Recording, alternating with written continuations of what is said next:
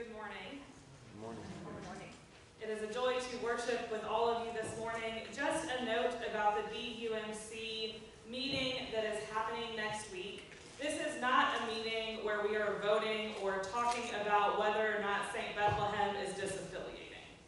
That has not been a conversation that has been had. This is just an informational meeting so that we know what is going on in the United Methodist Church and in the Tennessee Western Kentucky Conference because there is so much that we can find online and there are so many varying reports. This is just so that we all know what is going on. And so I hope that you'll be able to attend as we have, uh, as we share information about that and then have discussion. And also, there will be a potluck. And so we hope that you will stay for a fellowship meal after that. Most importantly, I hope you know that whether this is your first time or you have been attending for years, whether you are strong in your faith or you still have some questions, no matter your age, your tax bracket, your ability, or the color of your skin, no matter who you love or who loves you,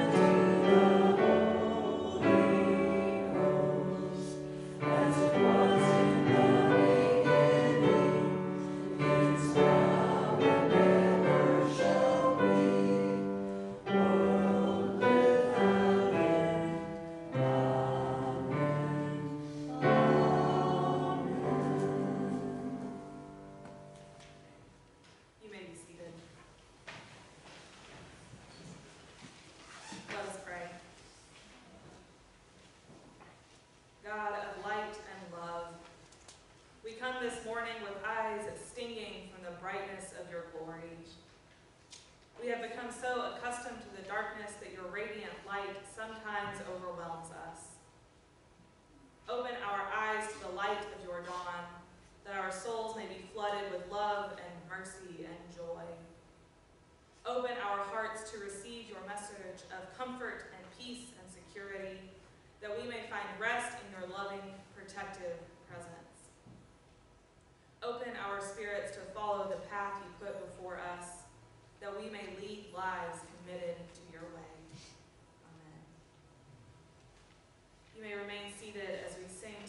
when I survey the wondrous cross, hymn number 290.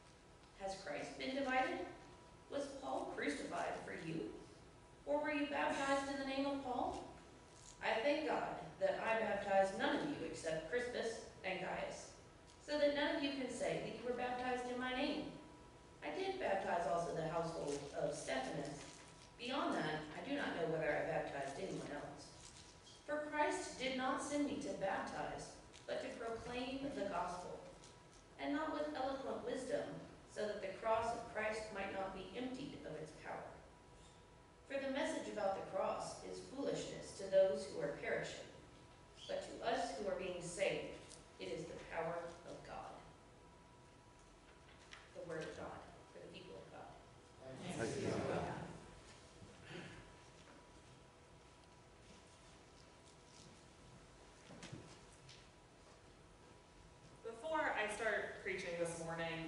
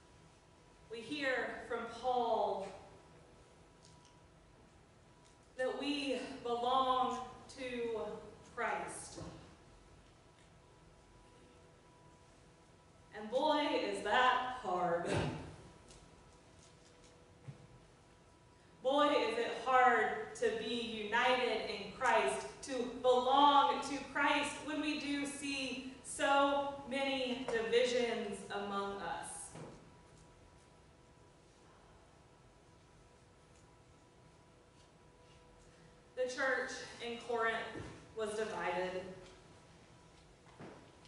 The church today is divided.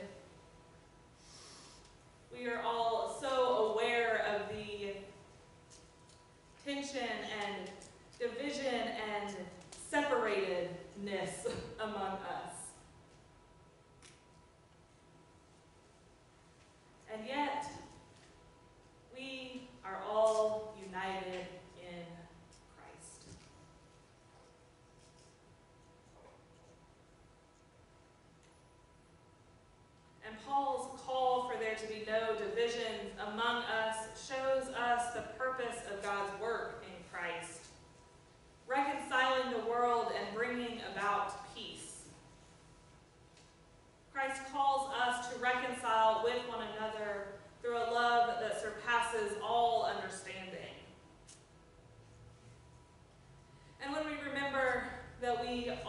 share this calling from Christ that we are all God's beloved children created in God's own image. That we have to be able to recognize the sacred worth of all of our siblings in Christ. Paul saying there should be no divisions among us does not mean that we are all of one opinion about all things. Paul does not confuse unity with uniformity. He does not think that believers must all have identical views on things or must walk in lockstep with one another. Uniformity feels much easier Because unity is not easy to be maintained. It has to be worked for constantly. Because it is easier to say, no, you just need to believe like I do, and then we will all be following Christ as we should be.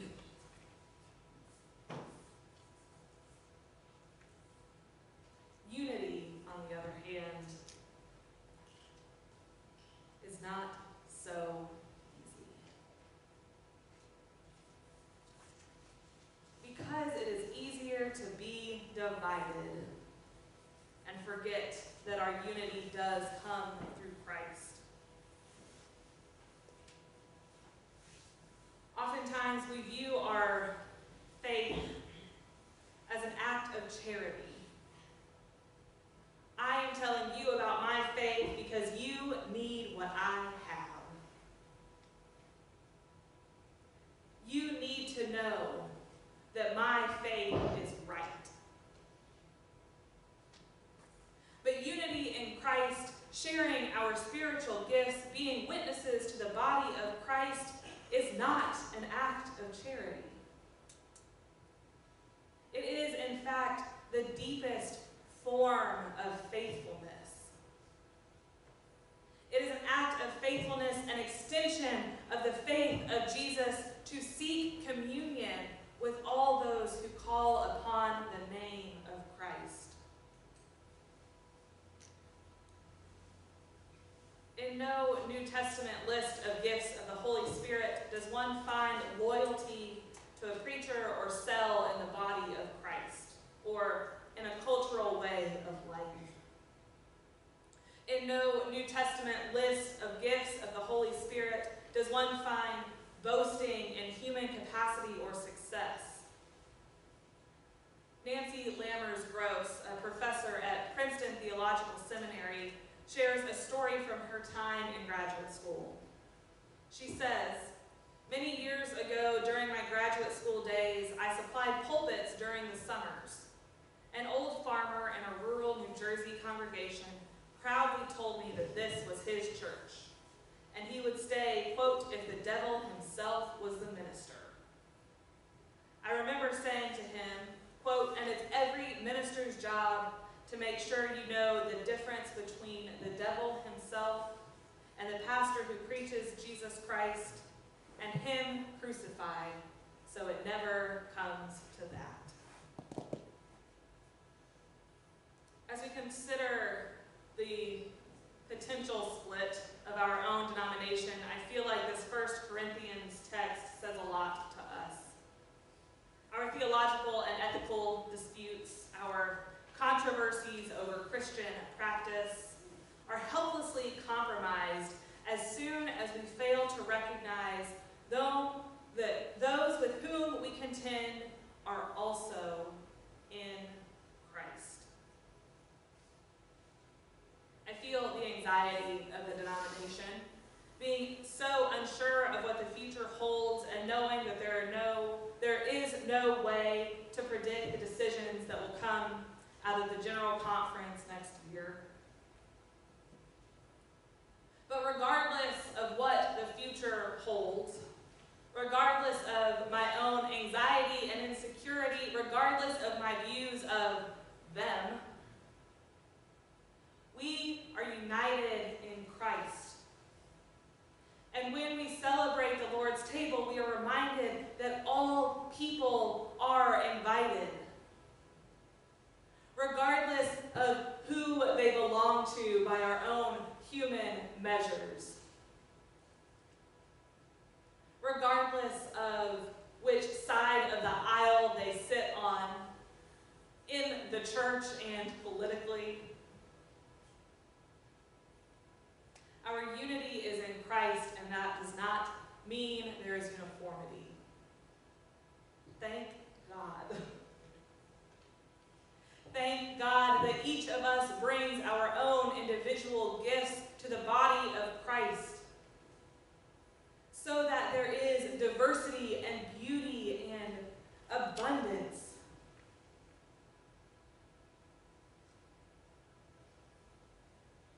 Our worthiness does not come from anything we have said or done, but it comes from the unending and unconditional love of Christ.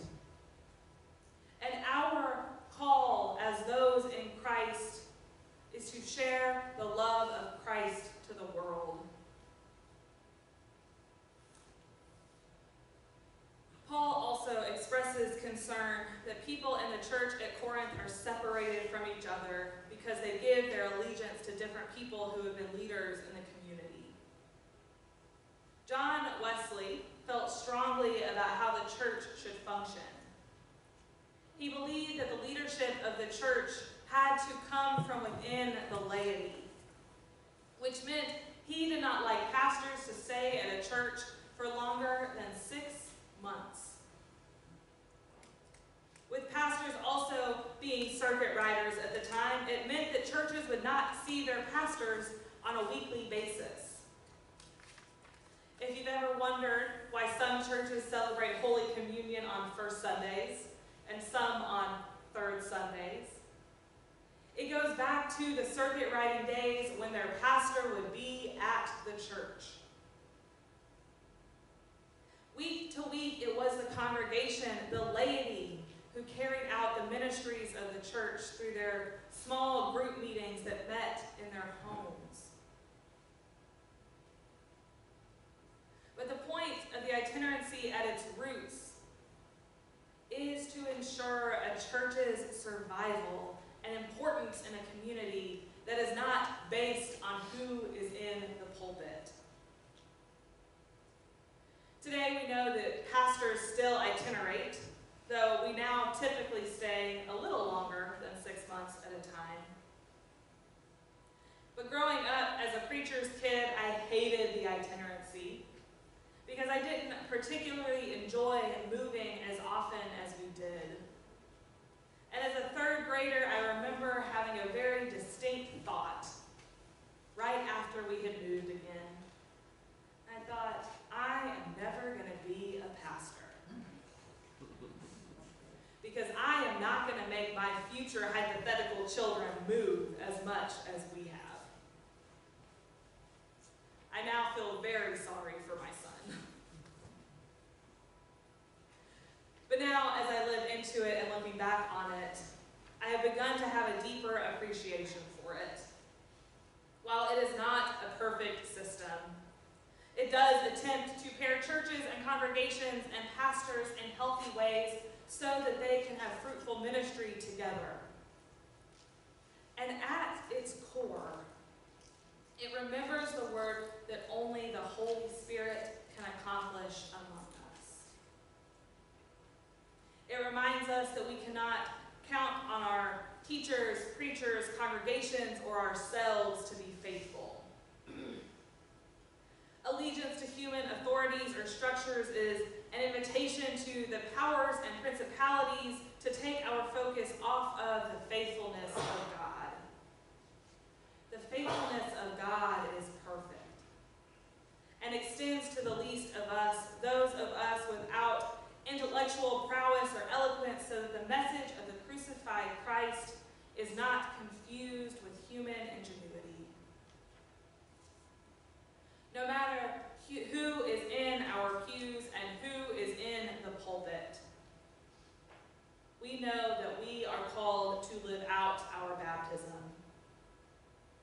And in our baptism, we are not claimed by the pastor who baptized us. We are claimed by God. And because we are claimed by God, our call, the call we receive at our baptism, never fails because God never fails. And God invites us into the work as Christ's hands and feet in the world. Remembering that all who believe in him shall never die but have everlasting life. Remembering that we profess the same Christ. No matter who we are or what we believe in the world or anything else, we are united in Christ. And for that, we give thanks. Amen. At this time, I invite our ushers forward for this morning's offering.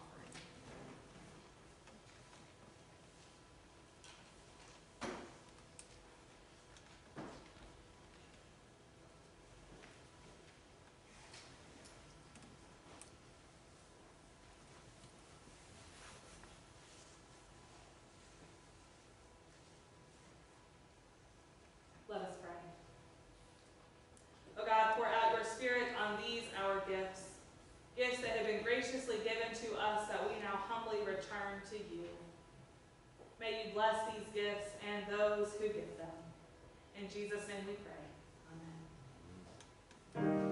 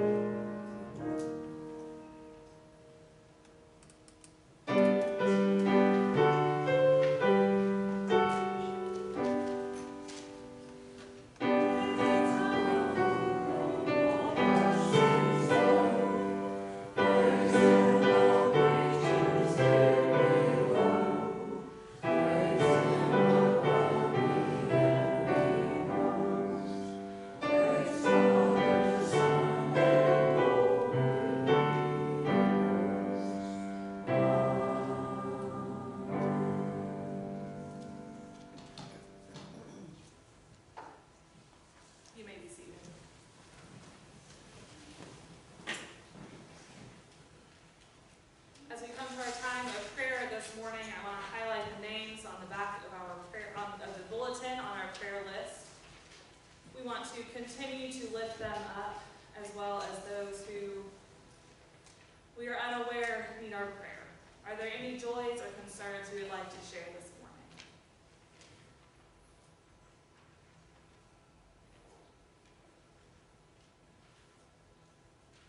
Seeing none, let us go to God in prayer.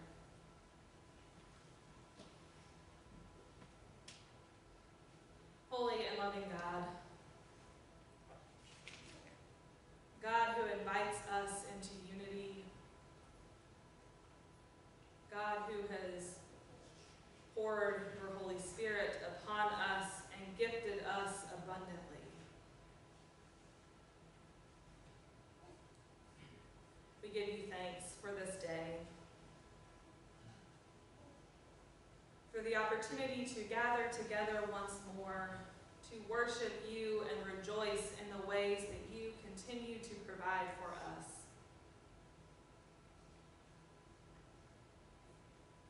Oh God, we lift up to you all of our prayers. For we see the places of hurt and division and disruption in our world and country and lives.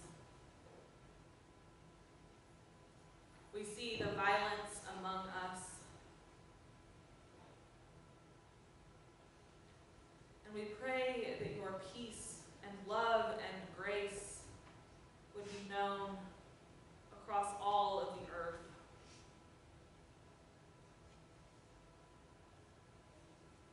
We pray that you will continue to remind us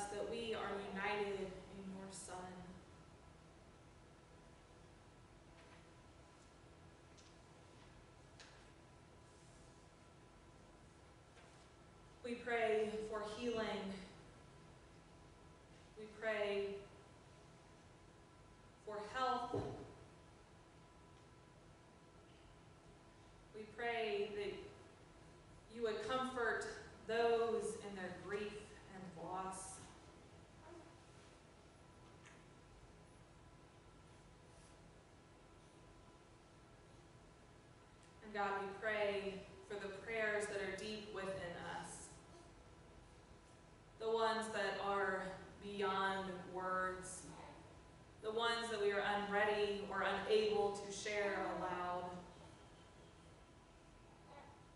the ones that are deep within us.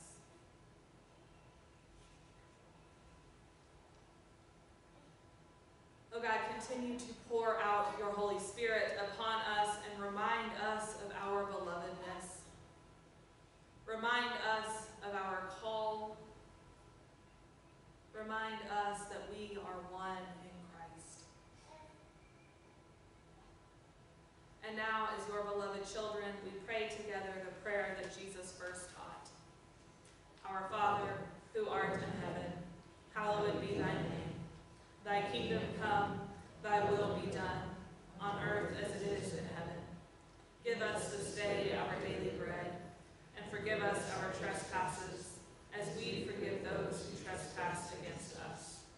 Lead us not into temptation, but deliver us from evil.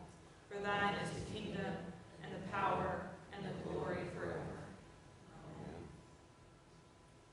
As we come to the close of our service this morning, I invite you to stand as you are able as we sing together hymn number 557, Blessed Be the Tie That Binds.